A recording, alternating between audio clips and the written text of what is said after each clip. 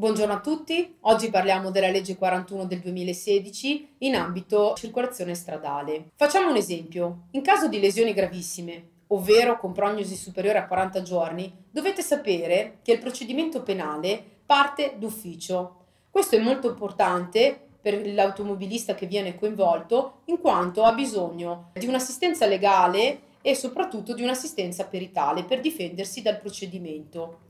Non conta il risarcimento perché sono due attività distinte e parallele. Ricordo anche a tutti che noi siamo responsabili, quando siamo alla guida del nostro veicolo, non soltanto nei confronti di terze persone, ma anche di tutti coloro che trasportiamo sul nostro veicolo. La legge 41 al suo interno ha degli aggravanti ma mai delle attenuanti. Che cosa vuol dire? Che la guida sconsiderata, l'eccesso di velocità o peggio la guida in stato di ebbrezza può comportare un aggravamento delle pene. Per tutte queste ragioni, una polizza di tutela legale vi permette di avere la migliore assistenza e la migliore protezione.